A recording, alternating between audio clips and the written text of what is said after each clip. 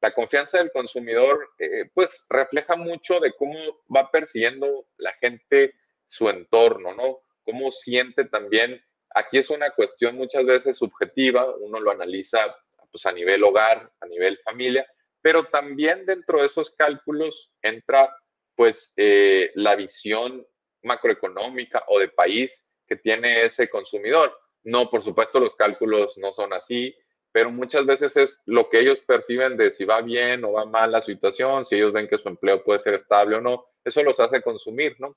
Y vean cómo ha tenido bajones y picos muy marcados, ¿no? Tienen el, indicador de confianza del consumidor es otro de los que es elaborado por el, por el INEGI, es bastante confiable.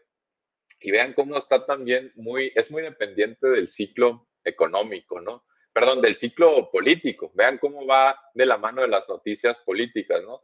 Eh, por allá de 2016, ustedes pueden ver cómo está muy ligado a aquel paquete, a aquellos controversiales paquetes fiscales de Enrique Peña Nieto, ¿no? Donde se anunciaban pues alzas de impuestos, disminuciones al subsidio a la gasolina que llevó a los aquellos gasolinazos, eso mermó bastante la confianza del consumidor. Aparentemente ahí fue transitorio, ¿no? Luego se recuperó, pero fíjense cómo realmente eh, los niveles eh, empiezan a subir a partir del resultado de la elección del 2018, ¿no? Por allá de junio, julio, mediados de año, ustedes pueden ver cómo el triunfo del Andrés Manuel López Obrador dispara la confianza del consumidor en sentido positivo, ¿no? si llega, toca niveles, pues al menos en la historia reciente, no antes vistos, ¿no? Eh, tiene ahí por ahí una especie de bajón natural, eh, digamos, una vez que se acaba la famosa luna de miel, eh, cae un poquito la confianza del consumidor, pero vean cómo después entra en una especie de meseta en un nivel alto, ¿no? incluso pre muy alto con respecto a 2016-2017. Y después, como es previsible, tiene un desplome una vez que comienza la pandemia. Y a partir de entonces, de aquellos cierres de empresas, de aquellos pues pérdidas masivas de cientos de miles de empleos al mes, poco a poco el indicador va retomando niveles anteriores eh, y ya prácticamente está de vuelta esa meseta de la que hablábamos, ¿no?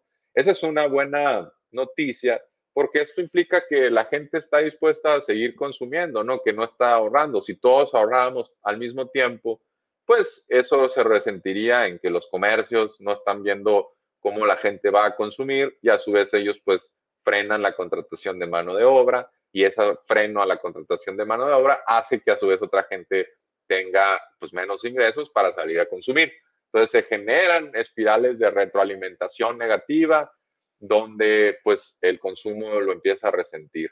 En este caso, no vemos una tendencia alcista de la confianza del consumidor y esto implica pues que es probable que el consumo privado eh, siga subiendo en los próximos meses, ¿no?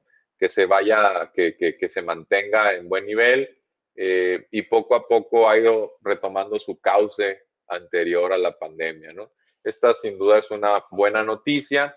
Y eh, lo que sí hay que ser insistentes es que pues la pandemia todavía no termina, ¿no? En, algunos estados muy específicos hemos visto ya incluso algunos que han vuelto a semáforo naranja, otros tantos a amarillo y la mayoría permanece en verde, pero ahí la pandemia ha ido aumentando un poco y pues si no nos cuidamos todos, podríamos ver de nuevo algunos cierres temporales de algunas actividades y eso podría mermar, ¿no? Afortunadamente la campaña de vacunación sigue, el ritmo es bueno, pero hay que eh, redoblar esfuerzos, pues porque eh, esto no se acaba y la actividad económica está muy relacionada a cómo enfrentemos en los siguientes meses em, este, esta incipiente ola, ¿no? Todavía no podemos ni ni comparar con las dos olas previas que ha habido eh, este, este pequeño rebrote que estamos viendo en algunas entidades, pero es por supuesto el momento para ajustar algunas cosas, ¿no? Ya hemos visto en algunos países de Sudamérica, en Chile, en Brasil, eh, cómo incluso con las campañas de vacunación en marcha y cada vez tomando mayor ritmo, aún así los contagios eh, siguen aumentando, incluso llegando a niveles eh, no antes vistos e incluso con las campañas de vacunación. Entonces, seguramente eh, la mortalidad se reduce porque sabemos que las vacunas no es que lleven a cero la posibilidad de que uno contraiga el virus,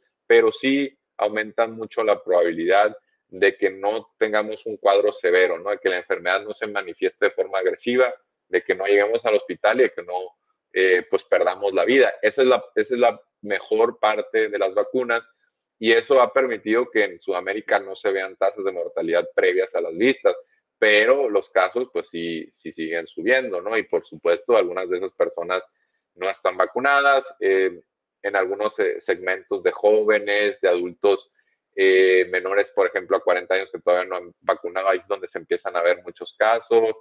Hay que seguirse cuidando, ¿no?